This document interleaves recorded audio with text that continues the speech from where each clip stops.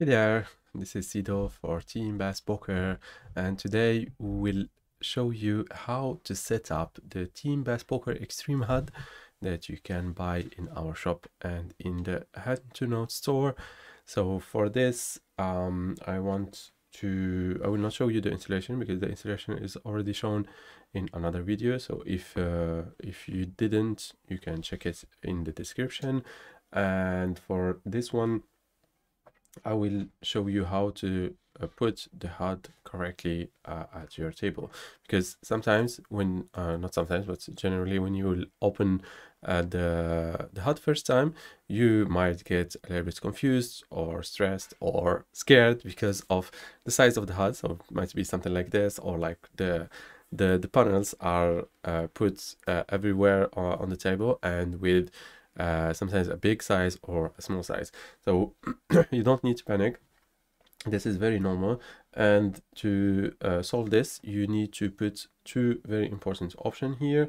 This is um, this one here. So uh, scale font uh, size in HUD uh, at 0%. So you tick this one and here very important uh, this one as well you put X as 1 and Y as 3. So do you tick this one uh, and this one and this will solve the problem. So whether because here if you make it small or big it will be the same and now um, if it's big or small this will keep it um, uh, smooth and fine placed in your table. So if we make this uh, like a small table, you can see that the the the panels are still uh, at their place and uh, looking fine even for a very small sizing uh, table and also for a big table. So this is for the when you open and you cannot fit the HUD uh,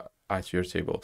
Uh, the second thing here is that the HUD in itself, it's not a dynamic HUD, it's a static HUD because most of the of the poker rooms nowadays they they just uh, forbidden the the dynamic HUDs and therefore we have to go with the static HUD.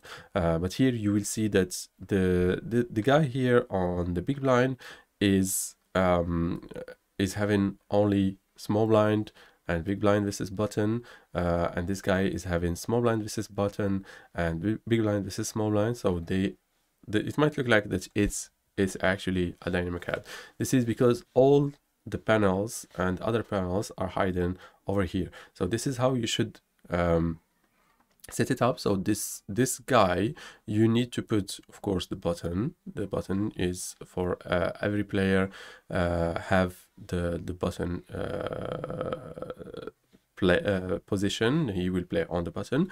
But this player will never play small blind uh, this is uh, will never play big blind This is small blind. So he will play only small blind This is big blind against us. So the big blind versus small blind we don't need needed to uh, need him to have it in uh, shown in here and vice versa for this person. He doesn't we will never play him as small blind versus big blind so we'll be always on the small blind and he will be always on the big blind and that's why uh, we don't need small blind versus big blind and we need only big blind versus small blind. And same for the button. Small blind versus button here. When we are on the button he will be only at the small blind and this guy will be only at the big blind when we are for the button. That's why we need to put only those stats here um, for for this player. So we need to put the button big blind versus button and small blind versus big blind. And for this player we need to put the big blind versus small blind the button uh, of course and the uh, the small blind versus button. All the panels will be hidden over here. So this is why we have this box here. This is for the hiding part. So we will hide all the panels on this side and we will put uh, put them here. And this way this way you have a kind of not a dynamic HUD but you have only the the stats needed and not a ton of panels uh, at your screen and only the panels that you will need uh, for each player.